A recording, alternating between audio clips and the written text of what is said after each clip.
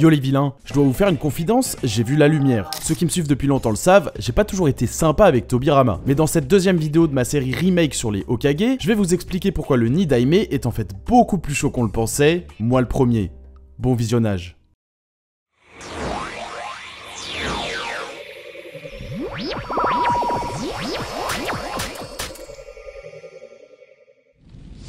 Bon, habituellement j'attaque ce genre de vidéo avec une analyse de la représentation du personnage dans le manga, mais ici on va varier un peu, surtout que Tobirama est le Hokage avec le moins de screen time. Donc cette fois-ci on va attaquer directement l'analyse de sa puissance, et je glisserai les éléments narratifs au fur et à mesure. Et on attaque avec la première apparition de Tobirama dans le manga, qui se passe bien sûr au chapitre 118, quand il est invoqué avec son frère Hashirama via l'Edo Tensei d'Orochimaru. Comme j'expliquais dans ma vidéo sur le Shodai, que je vous invite à voir bien sûr, Hashirama et Tobirama sont réanimés avec une fraction de leur puissance, et ça c'est Tobirama qui le confirme lui-même au chapitre 620. Pour les sceptiques, je vous invite à regarder la vidéo précédente, et de toute façon, en plus de la déclaration de Tobirama en personne, on a celle du quatrième databook, donc bref, on va pas forcément analyser le combat en lui-même contre Hiruzen, en tout cas pas trop dans le détail. Cela dit, il y a quand même 2-3 trucs qu'on peut y relever, le premier étant que Tobirama arrive à combattre au même rythme que son frère Hashirama. Ils esquivent et attaquent Hiruzen en synchro, ce qui pourrait indiquer que Tobirama est relatif à son frère en termes de taijutsu. Bah oui, en principe, ils subissent le même nerf, donc même si là on parle d'Hashirama en forme de base ramené à une fraction infime de sa puissance, bah ça reste intéressant à noter, et ça illustre potentiellement sa réactivité, sur laquelle on reviendra bien sûr tout à l'heure. Aussi, Tobirama arrive à bloquer facilement le Karyu Endan de Hiruzen avec son mur d'eau, sachant que le deuxième databook décrit cette technique Katon comme l'une des toutes meilleures de l'arsenal d'Hiruzen et qui représenterait apparemment la maîtrise ultime du feu. Au global, on voit que Tobirama et Hiruzen arrivent à neutraliser leurs ninjutsu respectifs. Et concrètement, ce que ça implique, c'est que ce Tobirama, loin de son meilleur niveau, reste un combattant capable de tenir tête au troisième Okage Hiruzen, lui-même comparable à Orochimaru et donc plus globalement au Sanin. Et c'est une idée qui est corroborée par Landbu qui observe le combat de l'extérieur et qui indique qu'il assiste bel et bien à un combat entre Okage malgré le nerf des réincarnés. Il faut savoir que déjà à ce stade du manga, le Okage est considéré comme le leader le plus puissant du monde ninja. Ce que dit Kabuto à propos d'Hiruzen va dans ce sens, mais c'est surtout les trois déclarations du fanbook officiel qui confirment cette idée du Okage a priori au-dessus de ses pairs des autres grands villages ninja.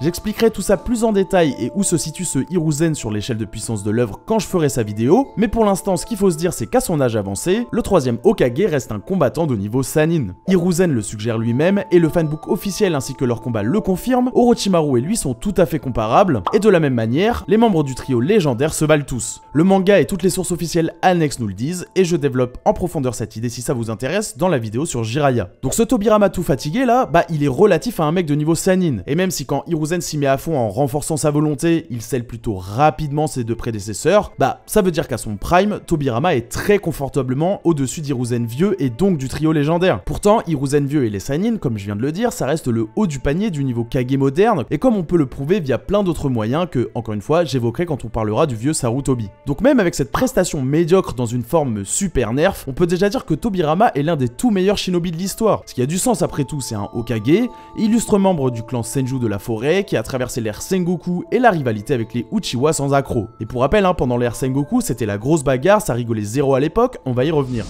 Mais avant de voir si on peut confirmer ce statut de légende de Tobirama empiriquement avec des éléments du manga, je voulais m'arrêter deux secondes pour évoquer 2-3 trucs concernant Tobirama et son lore, qu'on retrouve notamment dans les guides officiels pour encore un peu plus de contexte.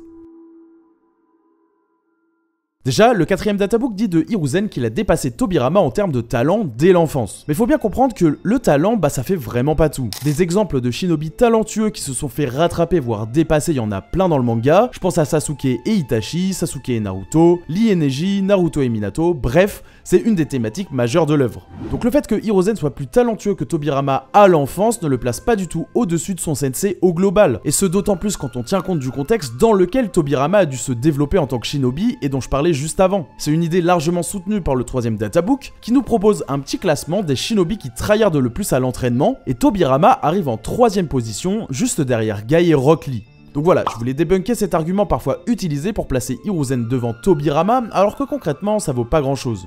Ensuite, déclaration plus directe du deuxième databook, il est dit de Tobirama en tant que Hokage qui possédait, je cite, une capacité de combat supérieure. Cette déclaration du databook à elle seule pourrait placer Tobirama au-dessus de tous les autres shinobi de son époque, ce qui serait cohérent avec son statut de Hokage comme j'expliquais plus tôt. Par ailleurs, la déclaration de Danzo au chapitre 481 confirme que Tobirama était le meilleur shinobi de Konoha, ce qui est là encore très cohérent et logique, après tout, le Hokage se doit d'être au-dessus des autres dans son village. Bien sûr, certaines exceptions confirment la règle, mais à l'époque où Tobirama était Hokage, il semble bien qu'il était le shinobi le plus puissant, succédant donc à son frère sur tous les plans.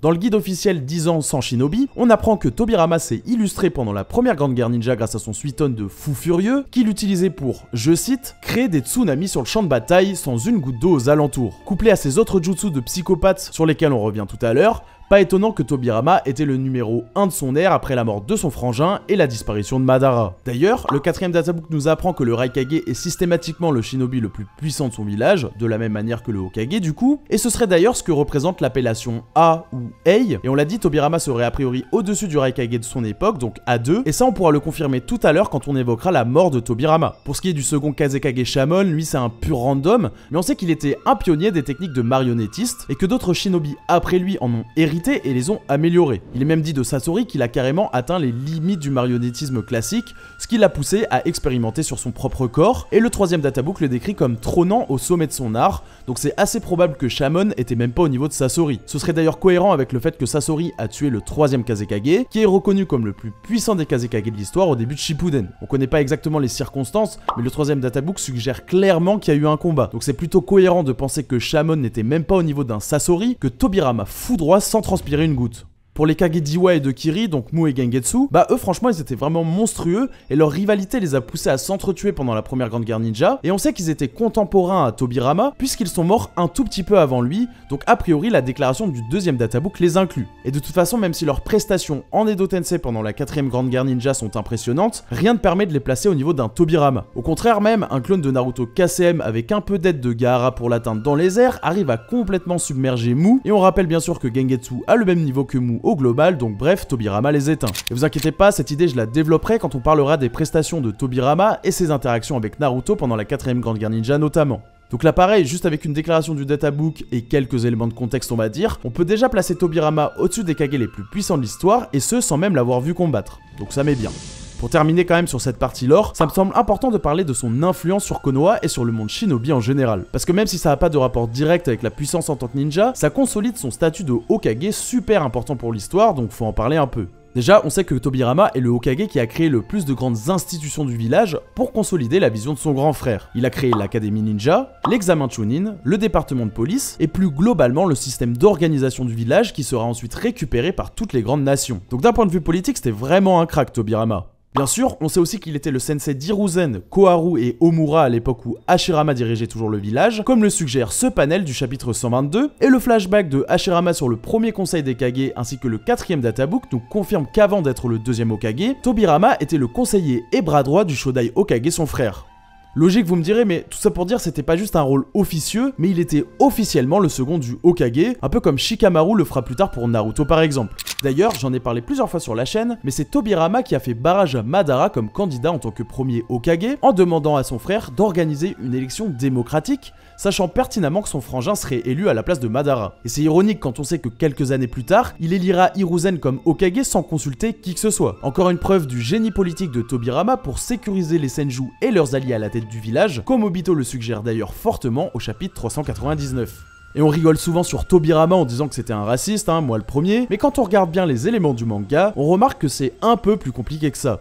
Je parlais du chapitre 399 et Tobirama le répète lui-même au chapitre 627, mais en tant que successeur à Hashirama, eh bah, Tobirama il a dû composer avec les deux tendances qu'incarnaient son grand frère et Madara, et c'était clairement pas un cadeau. Pour Tobirama, donner au Uchiwa un rôle important, en l'occurrence le département de police du village, c'était un moyen d'apaiser les tensions tout en surveillant l'émergence potentielle d'un successeur à Madara. Et bon, pour Obito, c'était juste un moyen de les tenir éloignés du pouvoir central. Et si je pense que ces deux interprétations sont pas contradictoires, je pense pas non plus que Tobirama avait pour but de supprimer totalement les Uchiwa de l'équation. Il le dit lui-même, beaucoup de Uchiwa étaient très loyaux et avaient fait passer les intérêts du village avant ceux du clan comme Itachi, Shisui et son ancêtre Kagami. En fait, c'est juste ça que Tobirama voulait concrètement, que les Uchiwa fassent passer le village avant tout. Et en vrai, tout est parti en couille sous le règne d'Hiruzen. On y reviendra dans sa vidéo, mais le Sandaime reconnaît lui-même qu'il a pas su développer le village comme Tobirama espérait, notamment en laissant trop de liberté à Danzo ce fou furieux. Et si on pourrait reprocher à Tobirama d'être celui qui a transmis à Danzo ses idées racistes, comme on vient de le dire, c'est juste une mauvaise interprétation de la vraie volonté de Tobirama de la part de Danzo, qui était de faire des Uchiwa un atout pour le village, on rappelle. Et on va pas trop rentrer là-dedans parce que c'est pas vraiment le sujet, mais ce type de détournement d'idées politiques qui mène à de la radicalisation, bah c'est plutôt courant dans notre monde. Tobirama, il était clairement pas tout blanc, mais il était objectivement favorable à l'intégration de tous les clans au village. Il avait juste des méthodes un peu radicales qu'on pourrait lui reprocher, mais qui peuvent faire sens dans le contexte de son époque. C'est un personnage assez réaliste quand on y pense, qui prouve au passage que Kishimoto est plutôt pertinent pour retranscrire des problématiques de notre monde à son univers, mais enfin bon ça c'est pas nouveau. Ça démontre aussi que Naruto n'est pas une œuvre aussi manichéenne que certains pensent, et ça c'est cool, Tobirama en est la preuve.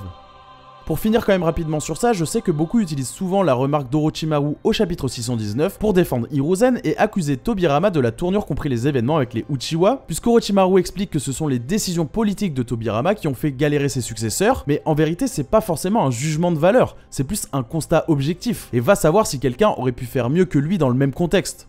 Bref, ce qu'il faut retenir de ça, c'est que malgré son faible screen time, vous voyez bien que Tobirama a vraiment eu un rôle super important pour l'histoire. Enfin voilà, rien qu'en termes de lore, Tobirama c'est déjà au-dessus des Sanin et de la majorité des Kage les plus puissants de l'histoire, en plus d'avoir eu une influence quasi sans équivalent sur le monde shinobi. Maintenant, voyons un peu ce qu'on sait de Tobirama de son vivant. On parlait de l'examen Chunin, bah faut savoir que Tobirama l'a notamment créé pour consolider les relations avec les autres clans et ou villages selon l'époque. Cette volonté de pérenniser les relations pour continuer la pacification du monde shinobi, elle s'illustre aussi par un des très rares moves de Tobirama en tant que Hokage dont on nous parle dans le manga. Je parle bien sûr de son alliance avec Kumo et le deuxième Raikage. Pendant le sommet organisé pour sceller cette alliance, les frères d'or et d'argent Ginkaku et Kinkaku tentent de tuer le Raikage et Tobirama. Le premier, on sait pas ce qui lui est arrivé, mais Tobirama survit, vous le prenez pour qui? Bon, et a priori, pas trop de doute que les frangins survivent aussi, puisque le quatrième Raikage nous dit que c'est après ça qu'ils sont devenus des renégats, et aussi parce qu'ils connaissent le troisième Raikage, comme le confirme leur déclaration sur le tatouage de Darui, donc ils ont à minima eu le temps de vivre un peu après le successeur du deuxième Raikage, peut-être parce qu'ils l'ont eux-mêmes tué et qu'ils sont morts après ça, va savoir. Mais ce qu'il faut noter, c'est que, comme j'ai dit, Tobirama il a survécu à la tentative de meurtre de Ginkaku et Kinkaku, qui ont sûrement attaqué par surprise, donc c'est déjà pas mal que Tobirama s'en soit sorti, et ça consoliderait sa supériorité sur le deuxième Raikage qu'on évoquait si on part du principe que ce dernier est mort à ce moment-là. Pour ceux qui douteraient encore de ça en 2024, on est sûr que Tobirama a survécu à cette attaque surprise, hein, puisqu'on voit littéralement la scène de sa mort dans le manga, et elle a lieu pendant la première Grande Guerre Ninja, quand il se sacrifie pour sauver son équipe. Ils étaient poursuivis par une escouade spécialisée dans la traque, et Tobirama reste pour les affronter, histoire de permettre à Hiruzen et aux autres de s'enfuir. Et clairement, cet événement est super flou, et il fait débat, donc on va y aller point par point. En fait, à ce moment-là, il dit que son équipe et lui sont traqués par 20 shinobi de l'unité Kinkaku. Donc là, il y a plusieurs écoles. Il y a ceux qui disent qu'il s'agit de 20 shinobi plus Kinkaku et Ginkaku, ceux qui pensent à Kinkaku, Ginkaku et 18 autres ninjas, ceux qui disent que c'est Kinkaku et 19 autres ninjas puisque Ginkaku n'est même pas mentionné, et enfin, il y a ceux qui pensent que c'est juste une unité créée pour traquer Kinkaku et potentiellement Ginkaku, autrement dit juste 20 ninjas de Kumo. Et bon, déjà Tobirama il dit bien qu'il y a 20 shinobi à leur poursuite, donc l'idée d'une unité composée de Kinkaku et Ginkaku et 20 autres shinobi c'est mort, hein. sinon il en aurait évoqué 22. Ensuite, pour trancher laquelle des autres interprétations est la plus cohérente, il faut se pencher sur plusieurs éléments. Déjà, il faut noter que quand Ginkaku dit qu'ils ont fait la peau à Tobirama dans le manga, c'est malheureusement une grosse erreur de traduction de Kana que l'éditeur anglais Viz a d'ailleurs reproduit.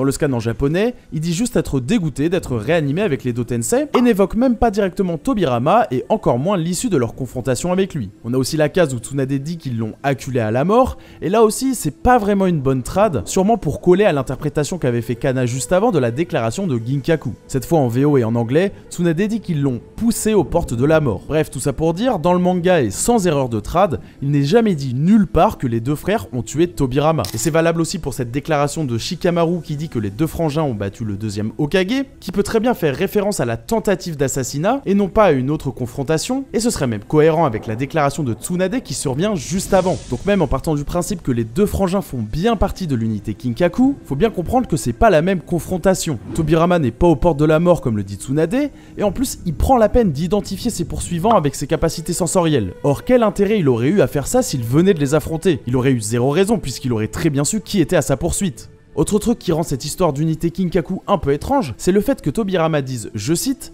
D'après leur exceptionnelle aptitude à la traque, je dirais qu'il s'agit de la brigade de Kinkaku du village des nuages. Or ici, deux choses. Déjà, Tobirama dit bien que c'est une escouade de Kumo, sauf qu'à ce stade, les frères d'or et argent étaient déjà des renégats, vu que ça se passe après leur assaut sur le Raikage et Tobirama comme on vient de le démontrer. Donc c'est bizarre que cette unité soit rattachée à Kumo si elle est dirigée par Kinkaku, voire Kinkaku et Ginkaku, deux des plus grands criminels de l'histoire du village. Ensuite, Tobirama c'est un ninja sensoriel d'exception. Il mentionne pas directement Kinkaku et encore moins Ginkaku, juste une escouade qui porte le nom du premier. Bref, c'est pas clair tout ça, mais personnellement je pencherais soit pour une unité composée de Kinkaku et de 19 autres ninjas, dont potentiellement Ginkaku, ce serait pas déconnant, à moins qu'il soit mort avant, soit plutôt pour une unité qui porte le nom de Kinkaku, pourquoi pas parce qu'elle a été créée par lui ou bien pour lui. Tout ça pour dire, on n'a pas trop moyen de savoir précisément qui étaient les shinobi qui constituaient l'unité, et contrairement à ce qu'on pense, on peut même pas prouver qu'il s'agissait bel et bien des frères d'or et d'argent. On peut le penser, hein, il y a vraiment pas de souci, mais c'est pas exactement prouvable.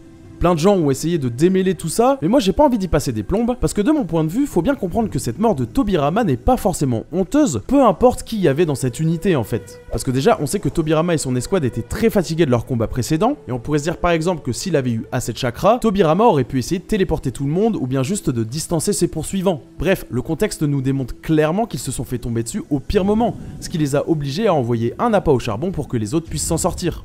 Autre truc qu'il faut bien comprendre, c'est que l'escorte de Tomirama est composée de 7 shinobi, lui inclus, dont Hiruzen, Danzo ou encore Kagami, bref la crème de la crème des shinobi de Konoha de l'époque. Pourtant, d'après Omura, le futur conseiller, si l'escorte de Tobirama avait affronté l'unité Kinkaku, ils auraient pas pu gagner. Du coup, ça prouve que leurs poursuivants étaient des gros clients, et donc c'est logique que Tobirama tout seul ait pas survécu. Si même avec son escorte de 6 il pouvait pas gagner, il allait pas faire des miracles tout seul. Et comme on a déjà établi qu'il était fatigué et qu'on sait pas vraiment qui composait cette unité, même si j'avoue que ça donne envie de se dire qu'il est mort comme une merde contre des randoms, bah concrètement non, on n'a rien pour affirmer ça. Au contraire même, les éléments de contexte nous montrent juste que c'est logique qu'il s'en pas vivant et qu'il se sacrifie pour la nouvelle génération. Donc voilà, utiliser sa mort pour justifier que Tobirama était faible, avec le contexte que j'ai donné et les explications sur son niveau que j'évoquais plus tôt, bah c'est objectivement fallacieux.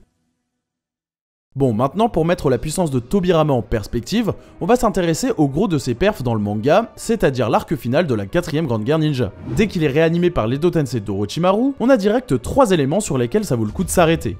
Le premier, j'en ai parlé plein de fois et je l'évoquais au début, c'est la déclaration de Tobirama qui dit qu'avec son Edo Tensei perfectionné via Kabuto, Orochimaru a ramené les Hokage avec la quasi-totalité de leur puissance passée. Ce qui fait que les perfs de Tobirama qu'on verra plus tard, eh bah, elles sont applicables à une version vivante du perso. Cela dit, il dit bien quasi-totalité, ce qui est cohérent avec le fait que les Edo, particulièrement les plus puissants, sont globalement nerfs, même si pour la plupart c'est marginal. Je vous invite vraiment à voir ma vidéo sur Hashirama si vous voulez une analyse plus approfondie de cet élément-là en particulier. Deuxième chose intéressante à noter dans cette scène, c'est l'interaction entre Tobirama et un Sasuke éternellement Gekyo Sharingan post-combat contre Kabuto. Concrètement, Tobirama lui met un giga coup de pression qui fait transpirer tout le monde dans la pièce. Et je vous arrête tout de suite, hein, je suis pas du tout du genre à évaluer l'écart de puissance entre des personnages en comptant les gouttes de sueur qui coulent de leur front, contrairement à certains tweets au One Piece, mais clairement, la pression du chakra de Tobirama ne laisse pas Sasuke insensible, ce qui pourrait suggérer une supériorité du Nidaime sur le Uchiwa, alors que Sasuke à ce stade, c'est le rival d'Itachi Edo Tensei et de Naruto mode chakra de Maîtrisé. Et vu qu'on aura plus tard d'autres éléments de comparaison entre Tobirama et Sasuke et Naruto également, qui iront dans le sens de cette interprétation, bah je trouve que ça restait important à noter maintenant. Enfin, troisième et dernier élément dans cette scène à relever, c'est bien sûr le flashback de Hashirama, dans lequel on voit on panel l'évolution de Tobirama qu'on évoquait plus tôt via son lore. Et évidemment, le truc le plus intéressant à noter dans ce flashback, c'est sa rivalité avec Izuna Uchiwa, le frère cadet de Madara. Vous le savez sûrement, mais c'est bien Tobirama qui a tué le dernier frère de Madara, alors que d'après le databook, Izuna était proche de son frère en termes de compétences. Alors je vous arrête tout de suite, hein. Déjà, ça parle de Izuna et Madara du vivant d'Izuna, et Madara il prendra 3 tiers de puissance après la mort de son frère, notamment en récupérant ses yeux, mais en plus, proche en termes de compétences, c'est quand même une tournure de phrase très sujette à interprétation. Cela dit, ça tend juste à prouver qu'Izuna était très très très chaud, même pour les standards de l'époque, et le fait que Tobirama réussit à le tuer en dit long sur ses compétences en combat, mais aussi sur son côté très bosseur qui se perfectionne constamment en ninjutsu comme on en parlait plus tôt. Parce que pour rappel, Tobirama a tué Izuna en le prenant de vitesse avec un jutsu qu'il avait créé, on l'imagine dans ce but précis, le Hiraishin. Le databook nous dit d'ailleurs que Tobirama et Izuna étaient équivalents en kenjutsu et en talent global, donc pour le dépasser, Tobirama a juste dû travailler comme un fou, et ça expliquerait pourquoi le Boog il est à l'origine d'autant de ninjutsu complètement broken. Edo Tensei, Hiraishin, bref, le troisième databook mentait pas, Tobirama c'est le genre de gars qui tryhard pour éteindre sa concurrence, et ça on aime bien. Voilà pour la première apparition de Tobirama dans le présent de l'œuvre, et vous voyez que rien que là, on apprend directement que le man y rigolait vraiment pas. Après ça, les 4 Hokage réincarnés partent pour le champ de bataille, et à peine arrivés, faut déjà qu'on se réarrête pour évoquer un point super important. Souvenez-vous, des 4 Hokage, c'est Minato qui arrive le premier sur le champ de bataille. D'après Tobirama, cette performance est à mettre au crédit du Shunshin de Minato. D'après lui, la maîtrise de la technique de déplacement instantané de Minato, donc son Shunshin, est meilleure que la sienne. Je précise que dans la VO, Tobirama utilise bien le terme Shunshin et non Hiraishin, si jamais il y a encore des gens parmi vous qui pensaient que c'était à ça que Tobirama faisait référence. Et pour rappel, le Shunshin c'est le jutsu qui permet de vitaliser son corps du chakra pour gagner en vitesse. L'écrasante majorité des shinobi maîtrisent cette technique, mais le degré de maîtrise de celle-ci va déterminer la vitesse et la capacité d'un shinobi à l'utiliser dans une situation de combat. Typiquement, des persos comme les Raikage ou Shisui sont connus pour leur capacité à utiliser au mieux leur Shunshin, histoire de submerger leur adversaire en combat. C'est notamment utilisé pour couvrir rapidement une distance et engager l'adversaire au corps à corps, ou au contraire pour esquiver voire désengager. Et des exemples comme ça, on en a des très concrets, comme par exemple le combat de Sasuke contre Deidara et Tobi, ou encore quand Naruto débloque le mode chakra de Kyubi et attaque Kizame, ou bien même quand Madara revient définitivement à la vie et dégage Naruto et Sai pour aller attraper Hashirama. Bref, concrètement, le Shunshin, c'est une technique qui permet de booster sa vitesse de déplacement. Et comme on vient de le dire, c'est tout à fait applicable dans une situation de combat. Les déclarations de Tobi, Killer Bee, Madara ou bien même Tobirama lui-même le confirment. Cela dit, suffit pas d'avoir un bon Shunshin pour avoir une bonne vitesse en combat. Le temps de réaction, les réflexes ou encore la vitesse d'attaque, soit la vitesse à laquelle on porte un coup ou on déploie une technique, c'est l'équilibre entre tout ça qui compte vraiment dans un combat entre deux shinobi. Et pour simplifier, c'est ce qu'on appellera ici la célérité. Déjà, un shinobi peut compenser un désavantage en vitesse physique avec un meilleur temps de réaction. C'est notamment ce qui permet aux utilisateurs du Sharingan, aux utilisateurs du Senjutsu ou aux ninjas sensoriels de réagir à des adversaires entre guillemets plus rapides que sur le papier. Et même si bien sûr le temps de réaction et la perception du shinobi doivent être proportionnels à sa vitesse de déplacement, sans quoi il galérerait à bouger correctement à haute vitesse, comme on l'a vu notamment avec Kakashi et son Shidori avant qu'il obtienne le Sharingan, bah la réciproque est pas du tout vraie. Bien sûr, Lee explique que si on perçoit un adversaire plus rapide que soi, mais qu'on n'a pas les stats physiques pour réagir, bah ça sert à rien, mais ça veut pas du tout dire qu'on a besoin d'égaler la vitesse physique de son adversaire pour réagir à lui ou le combattre. Plus généralement, une bonne maîtrise sur son chakra, qui va bien au-delà de juste maîtriser le Shunshin,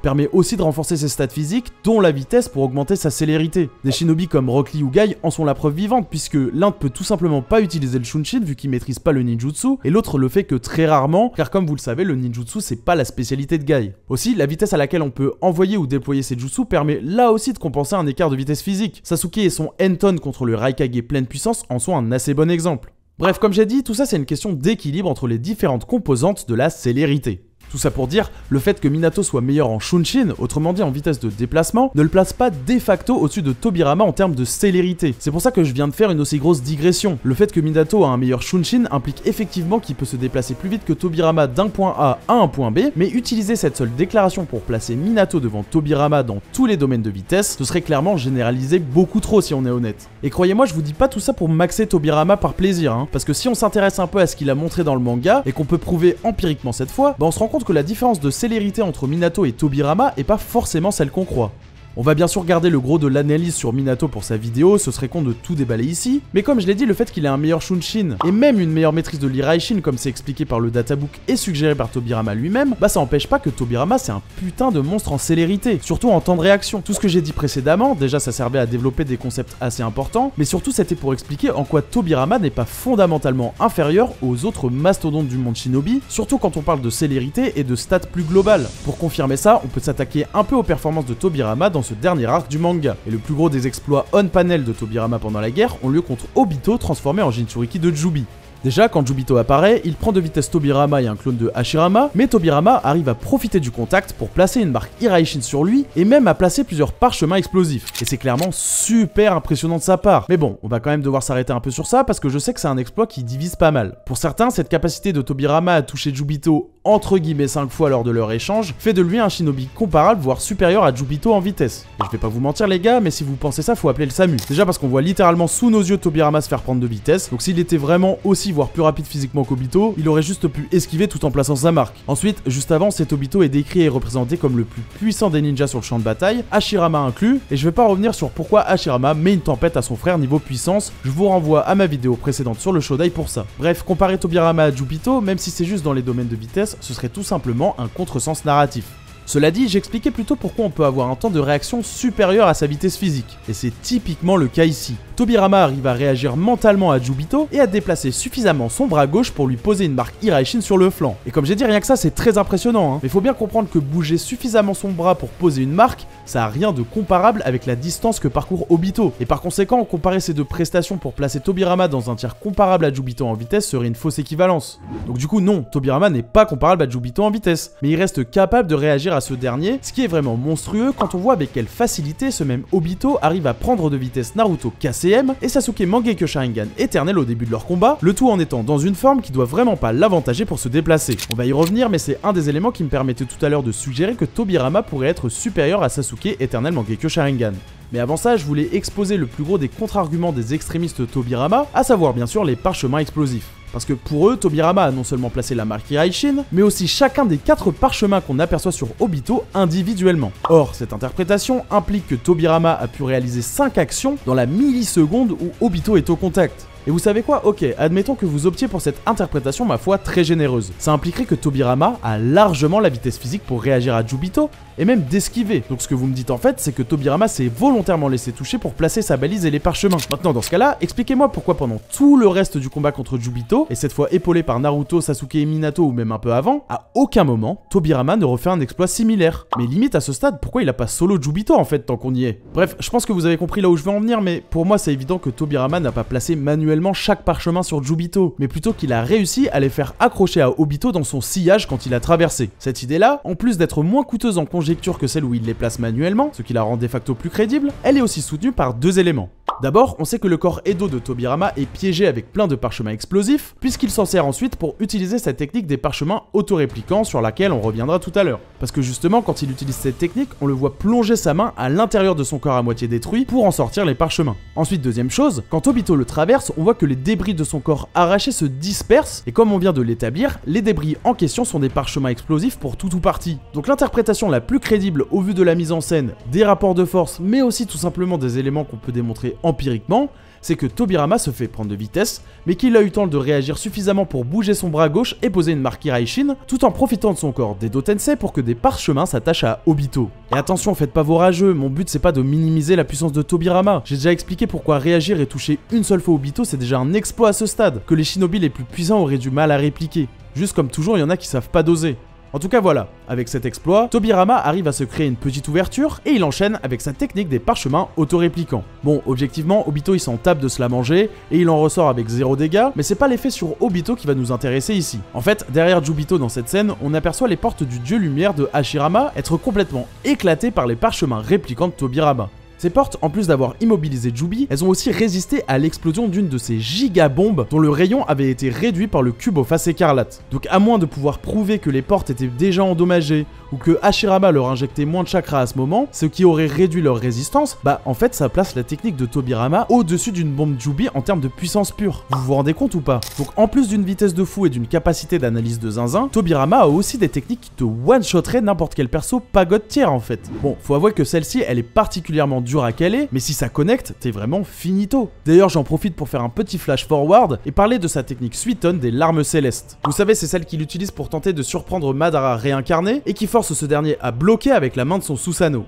Et déjà rien que ce que je viens de dire c'est assez impressionnant, mais vous ajoutez à ça la déclaration du guide disant sans shinobi sur cette tsunami, mais aussi celle sur sa lamaqueuse qui serait apparemment capable de découper n'importe quoi, et on se rend compte que niveau jutsu qui envoie du steak, Tobirama est quand même super bien armé. Vous pourrait penser qu'il mise principalement sur sa vitesse et ses stratégies pour frapper aux bons au bon moment, et ce serait vrai vu que c'est dit texto par Madara, mais en vrai réduire Tobirama à ça ce serait vraiment pas lui rendre justice, et sa maîtrise de jutsu broken et destructeur comme ceux que je viens d'évoquer l'atteste. Pas étonnant pour un ninja de son niveau vous me direz, mais le gars est super complet. Bref, je disais que réagir à Jubito c'est déjà un gros feat pour Tobirama, et je comparais ça à la perf de Naruto et Sasuke face à ce même Obito mais cette fois au corps déformé, qui eux se font complètement prendre de vitesse sans pouvoir réagir. Et concrètement, bah ça représente un exemple permettant de démontrer la meilleure célérité de Tobirama par rapport aux deux rivaux. Aussi, lorsqu'Obito arrive à stabiliser Jubi, il arrive à attacher une de ses sphères de vérité sur Minato, qui se téléporte sur Naruto et Sasuke sans s'en apercevoir. Problème, l'orbe s'apprête à leur exploser à la gueule, mais Tobirama arrive à la dernière seconde avec un de ses clones pour leur sauver les miches.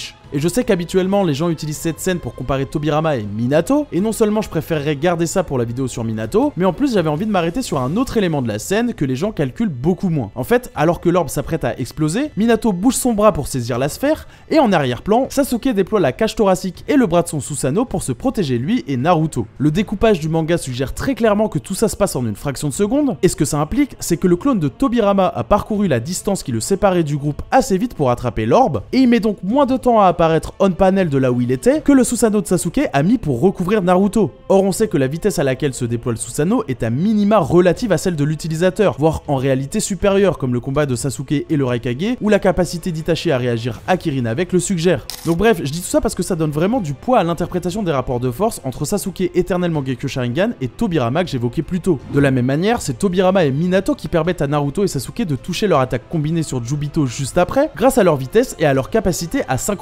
stratégie. D'ailleurs, on pourrait aussi créer des parallèles narratifs entre le duo de Hokage et le duo de candidats à ce poste. Bon, Minato et Naruto, c'est assez évident, hein. Ils sont père et fils, tous les deux sont en KCM, ils partagent des valeurs notamment inculquées par leur sensei Jiraiya, etc. Bref, ce parallèle-là, il coule de source, mais en vrai, ça vaut aussi un peu pour Sasuke et Tobirama quelque part. À ce stade, Sasuke veut devenir Hokage pour mener sa révolution, et clairement, Tobirama, c'est LE Hokage le plus révolutionnaire, le plus terre-à-terre. Bref, je trouve que si on pousse un peu le truc, on peut là aussi y voir un petit parallèle. Mais bon, plus concrètement, on voit bien que les deux Hokage réincarnés interceptent l'attaque combinée de Naruto et Sasuke, ce qui implique tout simplement qu'ils ont largement la vitesse pour y réagir, et c'est une idée soutenue par le quatrième databook qui décrit leur combo Iraishin comme nécessitant une synchronisation miraculeuse et par extension un niveau de maîtrise exceptionnel. Donc franchement, utiliser ça pour dire que les deux Hokage et Totensei sont encore légèrement au-dessus des deux rivaux à ce stade, ça me choquerait pas du tout, au contraire, comme j'ai dit, il y a pas mal d'éléments qui vont dans ce sens. Du coup, même en étant le moins généreux avec Tobirama, on peut pas nier qu'il a largement les compétences pour combattre en synchro avec des monstres comme Naruto, Sasuke et Minato KCM. Et quand on sait à quel point ces mecs-là mettent une tempête au reste des shinobi à ce stade, à l'exception des deux fondateurs ou de quelques cas exceptionnels, ça prouve vraiment que Tobirama est l'un des shinobi les plus puissants de l'histoire, et qu'il fait honneur à son statut de deuxième Je l'évoquais tout à l'heure quand je parlais de Mue Gengetsu, qui ferait clairement pas le poids face à un Naruto KCM à ce stade, là où Tobirama arrive carrément à l'éclipser par moments.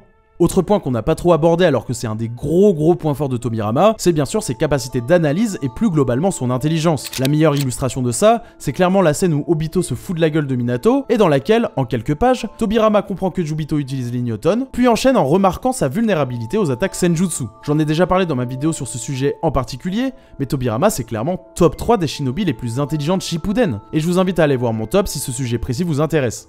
La prochaine et dernière performance de Tobirama qui mérite d'être mentionnée, c'est son interaction avec Madara réincarné que j'évoquais plus tôt. Après que Madara ait repoussé Sasuke sans Rinnegan et quasi one-shot Naruto et les autres bijoux après avoir récupéré son dojutsu, Tobirama tente de le surprendre avec son Iraishin Giri. Bon bien sûr Madara Veski, mais là où c'est intéressant, c'est que Tobirama arrive à réagir au coup des stocks de Madara avec son pieu du Rinnegan à bout portant en se téléportant à nouveau. Bon après bien sûr il se fait off-screen par Madara, mais ça reste une super belle perf quand on voit comment ce Madara victimise littéralement tout le monde qui s'appelle pas D'ailleurs, c'est juste après ça que Tobirama le force à déployer son Susanoo pour bloquer son attaque Suiton. Aussi, je sais que la déclaration de Madara à Tobirama qui vient juste après qu'il l'ait démonté fait débat. Pour rappel, en VF, Madara il dit « Tu étais célèbre pour ta vitesse », alors qu'en version anglaise, il dit plutôt « Tu te vantais autrefois d'être le plus rapide des shinobi ». Souvent, les gens utilisent cette traduction anglaise pour placer Tobirama au-dessus de Madara et Hashirama dans les domaines de vitesse. Sauf que la traduction française est en fait plus proche de ce que dit Madara en VO. J'ai traduit plusieurs fois le scan sur plusieurs sites différents, et en gros ce que dit vraiment Madara c'est, je cite, Toi qui te vantais de ta vitesse, regarde l'état dans lequel tu es maintenant. Bref, oui, Tobirama est rapide, ça on l'a déjà prouvé, mais utiliser cette déclaration pour le placer au-dessus de Madara et Hashirama en termes de célérité, c'est quand même assez fallacieux. À la rigueur, en termes de vitesse de déplacement, pourquoi pas, mais bon. Cela dit, juste après ça, Madara insiste sur le fait que Tobirama et Hashirama n'ont pas pu déployer toute leur puissance passée, ce qui implique que de son vivant, Tobirama était encore plus fort que ça. Et même si le nerf est inquantifiable, comme on a établi qu'avec l'estimation la plus basse de son Evo en Edo Tensei, il était déjà dans un tiers de puissance comparable à Naruto KCM ou à Sasuke Mangekyo Sharingan éternel avant la fin du combat contre Jubito, dire qu'il leur était concrètement supérieur de son vivant n'aurait vraiment rien de déconnant et c'est clairement énorme. Du coup voilà, je pense qu'on a bien prouvé à quel point Tobirama était un monstre au combat, et pour les plus anciens d'entre vous, je pense que ça fera un beau mea culpa de ma part. Intelligence, célérité, ninjutsu, bref le mec savait tout faire et ça le place très clairement tout en haut de l'échelle de puissance de l'œuvre. Et encore je pense vraiment vous avoir donné une estimation raisonnable de son niveau, et comme je disais en intro, ça m'a clairement fait revoir à la hausse sa place sur l'échelle de puissance du manga. De là à le placer devant Minato Pourquoi pas, ça vous le découvrirez dans la vidéo dédiée au Yondaime, donc abonnez-vous pour pas la rater. Sur ce les potes, merci d'avoir suivi la vidéo jusqu'ici. Si vous avez kiffé, comme d'hab, n'oublie pas le petit like et le petit commentaire de référencement, vous le savez c'est important. Je le rappelle toujours mais n'hésitez pas à rejoindre le serveur Discord si vous voulez parler avec moi et les goats de la commu, parce que je suis quand même vraiment actif là-bas. Bref, sur ce les potes, il me reste plus qu'à vous souhaiter une super journée ou soirée, et à vous dire à plus sur Contre-Culture. Peace